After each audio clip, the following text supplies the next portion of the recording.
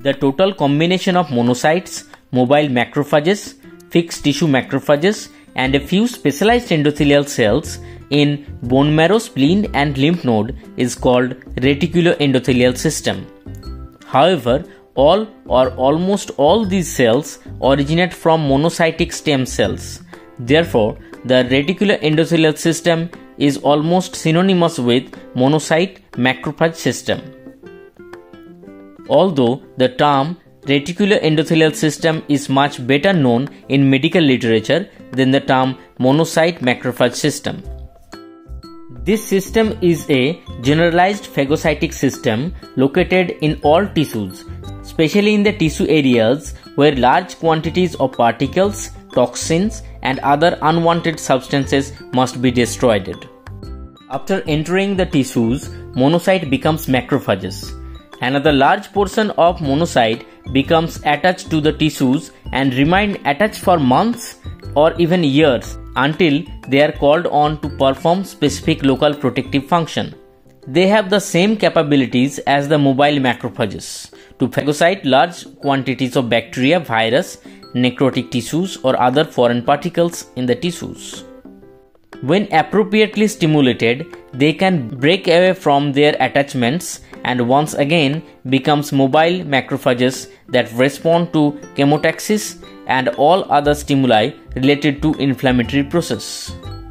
Thus the body has a widespread monocyte macrophage system in virtually all tissue areas. Tissue macrophages in the skin and subcutaneous tissues. These are also called histiocytes. Although the skin is mainly impregnable to infectious agent, but when the infection begins in the subcutaneous tissues, the local tissue macrophages can divide in situ and form still more macrophages. Then they perform the usual function of attacking and destroying the infectious agents. Macrophages in the lymph nodes. Essentially, no particulate matter that enters the tissue, such as bacteria, can be absorbed directly through the capillary membrane into the blood. Instead, if the particulate are not destroyed locally in the tissues, they enter the lymph and flow to the lymph nodes, located intermittently along the course of the lymph flow. The foreign particles are then trapped in the lymph nodes in a meshwork of sinuses lined by tissue macrophages. Usually, the lymph enter the lymph node by the way of afferent lymphatics, then flowing through the nodal medullary sinuses and finally passing out the hilus into the efferent lymphatics that eventually empty to the venous blood. Large number of macrophages line the lymph sinuses and if any particulate enter the sinus by way of lymph, the macrophages phagocytes them and prevent general dissemination throughout the body. Alveolar macrophages in the lungs. Another route by which invading organisms frequently enter the body is through the lungs. Large number of tissue macrophages are present as integral component of the alveolar walls. They can phagocyte particles that becomes entrapped in the alveoli. If the particles are digestible, the macrophage can also digest them and release the digestive products into the lymph. If the particle is not digestible, the macrophages often form a giant cell capsule around the particulate until such time that it can be slowly dissolved. Such capsules are frequently formed around the tuberculosis bacteria.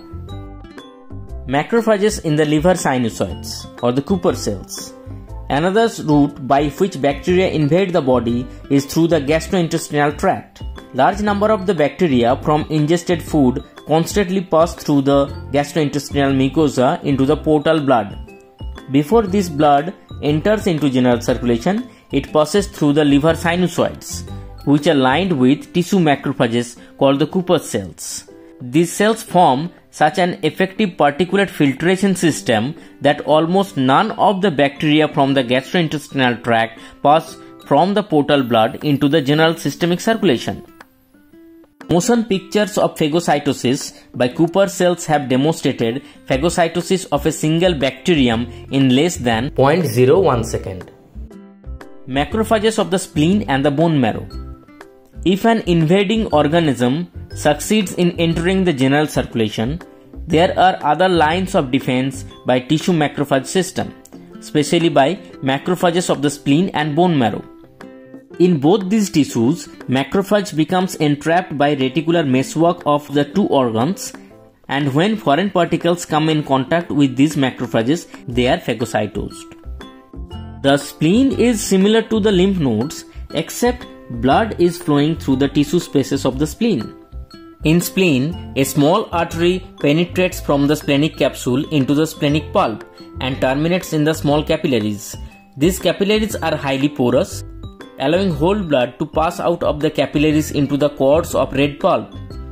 The blood then gradually squeezes from the trabecular meshwork of this cord and eventually returns to the circulation through the endothelial walls of the venous sinuses. The trabeculae of the red pulp and the venous sinuses are lined with vast numbers of macrophages. This peculiar passage of the blood through the cord of red pulp provides an exceptional means of phagocyting unwanted debris of blood, including especially old and abnormal red blood cells.